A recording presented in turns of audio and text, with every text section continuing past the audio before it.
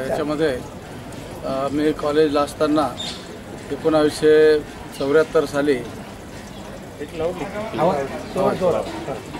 एकोणावीसशे चौऱ्याहत्तर साली आपल्या डहाणूरच्या चारोटी नाका येथे जी आदिवासी परिषद झाली कॉम्रेड गोदताई परुळेकर यांच्या मार्गदर्शनाखाली त्या परिषदेला मी हजर होतो आणि तिथून आम्ही प्रेरणा घेऊन आमच्या सुरगाणा पेठ नाशिक जिल्ह्यातील काही तालुक्यांमध्ये आम्ही म- वन जमिनीच्या बाबतीमध्ये काम सुरू केलं. जी माणसं दुसरीकडे पोट भरायला जात होती त्यांना सांगितलं की आपण एकजूट करा एकीच्या बळावरती आपण आपल्या इथल्या जमिनीमध्ये पीक काढू शकतो आहे आणि आपला उदरनिर्वाह तिथं थांबून करू शकतो आहे आणि त्याप्रमाणे आम्ही व्यवस्थितपणे नियोजन केलं लोकांना संघटित केलं. तिथं लोकांना शेतीला कामाला लावलं. आणि त्यातून एक मोठी एकजूट तयार झाली. संबंध नाशिक जिल्ह्याच्या आदिवासी पट्ट्यामध्ये वन जमिनीवरती साधारणतः एकोणावीसशे अठ्ठ्याहत्तर सत्याहत्तरपासून लोकांनी वहिती करायला सुरुवात केली. आणि त्याचा परिणाम असा झाला की प्रचंड प्रमाणामध्ये एकजूट पण निर्माण झाली.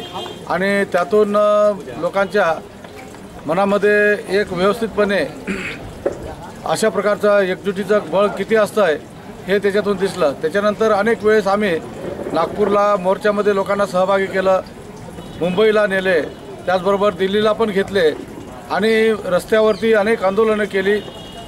तिथं त्या आंदोलनामध्ये पोलिसांनी गोळीबार केला. वांगणच्या गोळीबारामध्ये एकोणावीसशे सत्याऐंशी साली एक लक्ष्मण बागुल ना- नावाचा कॉम्रेड हुतात्मा झाला आणि त्याच्याचबरोबर अनेक का कार्यकर्त्यांना गोळ्या लागल्या.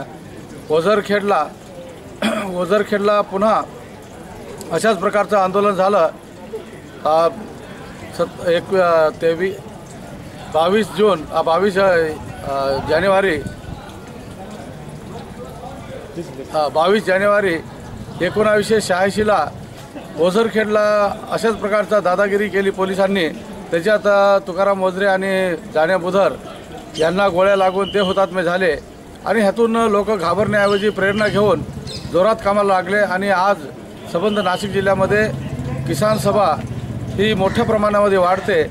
त्याला ह्या लढ्याच्या जोडीला फॉरेस्ट प्लॉटचा जर फक्त प्रश्न घेऊन आम्ही चाललो नाही तर त्याच्याबरोबर तिथं जी गरीब माणसं होती त्यांचे सामुदायिक विवाहामध्ये एका एका सामुदायिक विवाहामध्ये पाचशे ते हजारपर्यंत जे नवीन जोडपे होते त्यांचे लग्न लावून देणं त्याचबरोबर जे रेशनच्या धान्यामध्ये घोटाळा होतोय लोकांना धान्य मिळत नाही दुकानदार विकून खातं प्रशासन विकून खातं आहे लोकांचं धान्य त्यांच्या पदरापर्यंत येत नाही म्हणून आम्ही मागच्या दोन हजार दोन साली कलेक्टरला एक प्रपोजल दिलं. त्याप्रमाणे तीन महिन्याचं सहा महिन्याचे एकदाच पैसे भरले तर ते धान्य पूर्णपणे त्या माणसाला म्हणजे कार्ड कार्डधारकांना मिळतं आहे ग्राहकाला मिळतं आहे आणि ह्या प तत्वावरती याचे प प्रस्ताव राज्य शासनाकडे पाठवले त्यांनी पण मान्य केले. आणि मागच्या स काँग्रेसच्या राजवटीमध्ये हे सरसकट महाराष्ट्रभर लागू केलं की एक वेळेस पैसे भरले तर त्याला तीन महिन्याचं सहा महिन्याचे एक वर्षाचं धान्य हे त्याला मिळालं पाहिजे. आणि त्याप्रमाणे लोकांनी पण पैसे भरून ते धान्य त्यांना त्यांनी प्राप्त केलं. त्याचबरोबर आम्ही वृद्धापकाळची योजना ही सरकारी सरकारी योजना आहे. परंतु आम्ही पक्ष म्हणून आणि संघटना म्हणून तिथं ती राबवली. कार्यकर्त्यांना प्रत्येक गावामध्ये त्यांचे किती वृद्ध माणसं आहेत जे अत्यंत म्हणजे पा पात्र अशा प्रकारचे जे काही लोक आहेत ते किती आहेत त्याचे संबंध कागदपत्र पूर्ण केले आणि सुरगाणा पेठ त्र्यंबकेश्वर कळवण ह्या तीन चार तालुक्यामध्ये आम्ही सर्वाधिक अशा प्रकारचे वृद्धाचे प्रकरणं हे मंजूर करायला भाग पाडलं. आज महाराष्ट्रामध्ये सुरगाणा तालुका हा सर्वाधिक अशा प्रकारचं वृद्धापकाळचं पेन्शन घेणारा तालुका आहे एकमेव महाराष्ट्रामध्ये. आणि त्याची संख्या जवळजवळ अकरा बारा हजार वृद्धांना एका तालुक्यामध्ये पेन्शन मिळतं आहे आणि ह्या संबंध याच्यातून आम्ही संबंध आदिवासी विभाग हा जागृत करण्याचा प्रयत्न केला. आता मध्यंतरी नद्याजवळ राष्ट्रीय नद्याजवळ प्रकरणामध्ये गुजरातच्या सरकारने नरे नरेंद्र मोदीने जे पश्चिमेकडे वाहणारं पाणी लोकांना न देता त्यांनी सगळं एकत्र करून ते सौराष्ट्राला नेण्याचा घाट घातलेला आहे. त्याच्या विरोधामध्ये सुद्धा आता जनता उभा करण्याचा आमचा इरादा आहे. आणि ह्या संबंध प्रश्नावरती जे काही म- धान्याचे घोटाळे होतात नद्याजवळ प्रकल्पाचं पाणी तिथल्या स्थानिकांना न वापरू देता दुसरीकडे घेऊन जायचं हे जे काही एकंदरीत राजकारण चालू आहे ह्याच्यावरती एकोणावीस आपल्या एकोणावीस मे दोन हजार पंधरा ह्या दिवशी मुंबईच्या विधान आपल्या म- मंत्रालयावरती एक धडक मोर्चा आयोजित केलेला आहे. आणि आम्हाला खात्री आहे की त्या मोर्चामध्ये कमीत कमी पन्नास ते साठ हजार लोक आदिवासी प पट्ट्यातील ठाणा नाशिक वगैरे ह्या परिसरातील हे सहभागी होतील. आणि अशा प्रकारचा ठाण्यामध्ये सुद्धा फार मोठ्या प्रमाणामध्ये अशाच पद्धतीने संघटन उभं आहे. आणि भविष्यामध्ये हे संघटन महाराष्ट्राच्या जो काही श्रमजीवी लो मा- वर्ग आहे त्याच्यासाठी नक्कीच एक चांगल्या प्रकारचं प्रेरणादायी ठरेल आणि संघटना मजबूत होईल. सरकारला त्याच्यामध्ये नक्कीच विचार करावा लागेल. आणि आमचं तर म्हणणं आहे की ह्या पट्ट्यामध्ये तिथं निवडून येणारे लोक आहेत ते आपल्या पक्षाचे असले पाहिजेत आणि तो मा तो पक्ष आपले प्रश्न स्वतःहून विधानसभेमध्ये मांडून ते सोडवून घेईल अशा प्रकारची आमची पुढची तयारी आहे.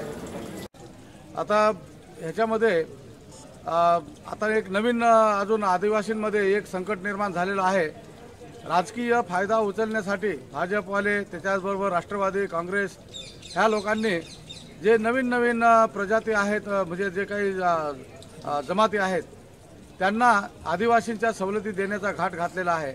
आणि त्यात धनगरासारखी एक पुढारलेली जमात ज्यांचा आदिवासीच्या निकषामध्ये कुठल्याही प्रकारचा संबंध नाही कोणीही कोणीही त्याच्यामध्ये आदिवासींचा जे काही देवदेवता आहे त्याच्याशी काही संबंध नाही संस्कृती आहे त्याच्याशी संबंध नाही. आदिवासीची संस्कृती वेगळी आहे. धनगरांची संस्कृती वेगळी आहे. त्यांचे देवदेवता त्यांचे चालीरीती त्यांचे लग्न सोहळे किंवा इतर काही सणवार हे संपूर्ण वेगळं आहे. आणि ते आदिवासींच्या मध्ये येण्याचा प्रयत्न करतात. आणि म्हणून ह्याच्या बाबतीमध्ये आम्ही एक प्रचंड आंदोलन उभं केलेलं आहे. आणि हे आंदोलन येत्या एकोणावीस तारखेला त्याचासुद्धा स- समाचार घेण्यासाठी मंत्रालयावरती धडक मोर्चामध्ये हे संबंध प्रकरण उठवणार आहोत. आणि कुठल्याही परिस्थितीमध्ये आदिवासी जो काही त्याच्या नोकऱ्या लाटण्यासाठी खरं म्हणजे ते जे त्यांच्या रिझर्व जागा आहेत त्या जागेवरती नजर ठेवून हे धनगर किंवा इतर जे काही हालबा गोष्टी वगैरे ही माणसं जी ते आदिवासीमध्ये येण्याचा प्रयत्न करतात त्याचा खरा डाव हाणून पाडला पाहिजे.